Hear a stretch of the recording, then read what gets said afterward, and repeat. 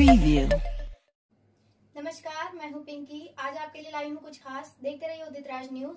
सब पर नज़र सबकी खबर। परंतु तो हमारे यहाँ ना तो भारतीय जनता पार्टी में ऐसा होता आया है ना मेरे संगठन में ऐसा होता आया है। अगर किसी ने गुनाह किया है या उसने कोई गलती की है तो उसकी सजा उसको मिलनी चाहिए। माननीय अखिलेश यादव जी की यदि गलती है उस पर मुकदमा पंजीकृत हुआ है तो इसमें तिरमिराने वाली बात ही नहीं है। वो तो स्पष्टता है कि उन्होंने गलती की। और एफआईआर हुई है। और एफआईआर होने के बाद जाँच होती है।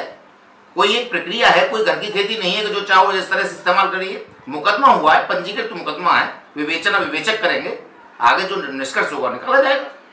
बाकी इन लोगों की तरफ़ जाम लगाना इस तरह की हरकतें करना, ये तो पहले से ही करे, करते चले आए चूँकि ये तो इनके अनुशासन में लिखा हुआ है कि सपा के में कि ये तो करते चले आए उसको लंबी चौड़ी बात नहीं।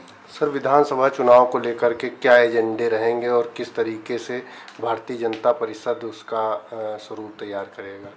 देखिए हमारे पार्टी लेवल से कोई सिंबल तो दिए नहीं जा रहे हैं जैसा कि अभी तक संज्ञान में है।